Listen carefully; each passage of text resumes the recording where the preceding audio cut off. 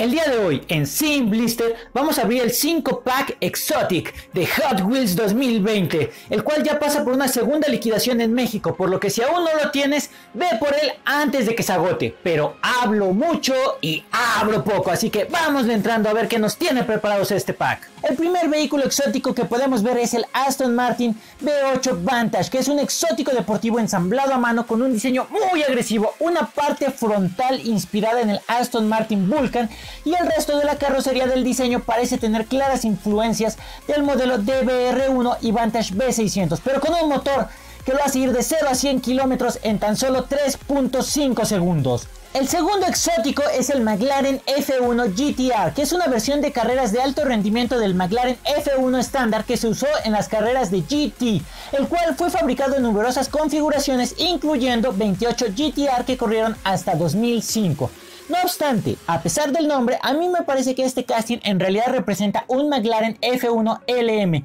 ya que presenta dos asientos laterales que no deberían estar presentes en los modelos de carreras GTR. El tercer exótico es el Porsche 911 GT3 RS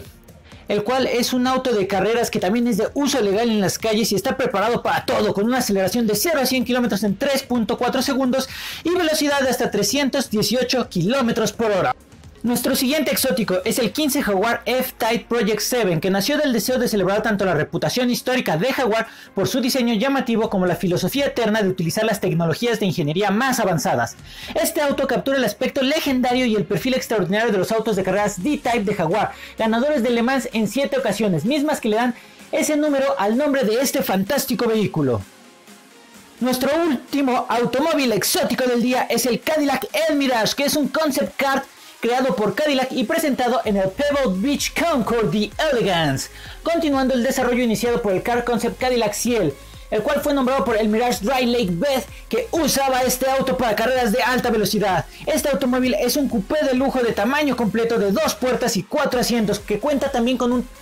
perfil de techo rígido sin pilares, un estilo de carrocería que dejó de usarse de forma habitual por los fabricantes de automóviles estadounidenses desde finales de la década de los 70, lo que lo hace una curiosa mezcla de auto moderno con toques clásicos. Y como lo podemos ver tiene un color pero súper genial, un biselado perfecto, un gran acondicionamiento y luce pero sí chulísimo, no me dejarán mentir. Pero bueno, no los aburro más con mi voz y los dejo para que disfruten estos autos tal y como debe de ser. Solo cuéntenme, ¿ustedes ya tienen este pack o apenas lo están buscando?